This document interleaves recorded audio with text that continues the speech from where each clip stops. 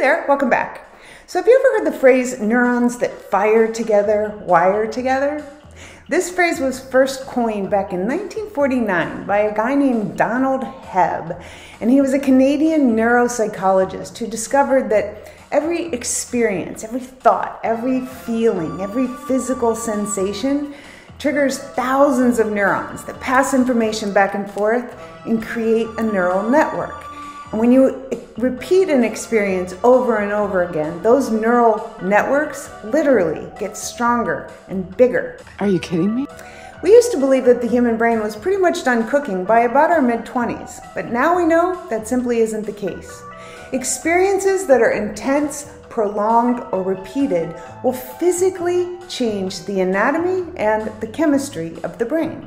Neuroscientists refer to this process as experience dependent neuroplasticity.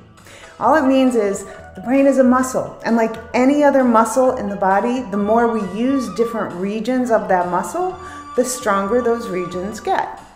For example, studies show that black cab drivers in London use one part of their brains over and over again, and as a result, it's bigger than yours and mine.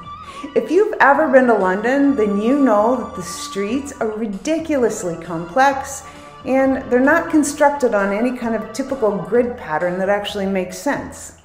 The test to become a London cabbie, called the Knowledge, is perhaps the most difficult test in the world.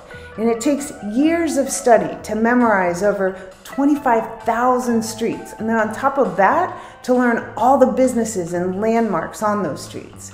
It's the equivalent of having an atlas of London imprinted on the brain.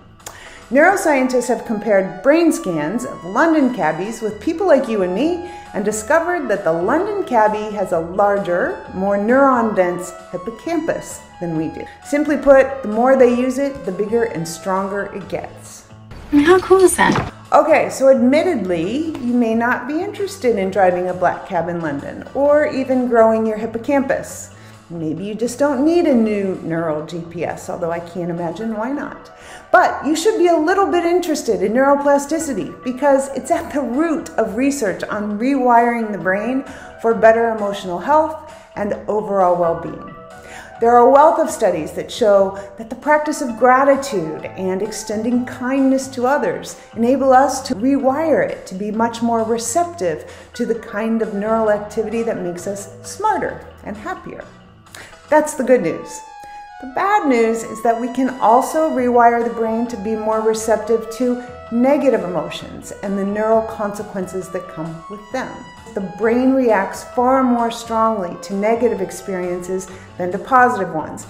It's called the negativity bias. But intense, repeated, or prolonged negative experiences will actually grow and strengthen our stress receptors and connections. So, embed a little happiness in your brain today and appreciate the good things in your corner of the world. Or better yet, go make a few good things happen. There is power in kindness, not just for the people around you, but for you too. Small random acts of kindness will literally change your brain. I wrote about that right here. Work smarter, not harder.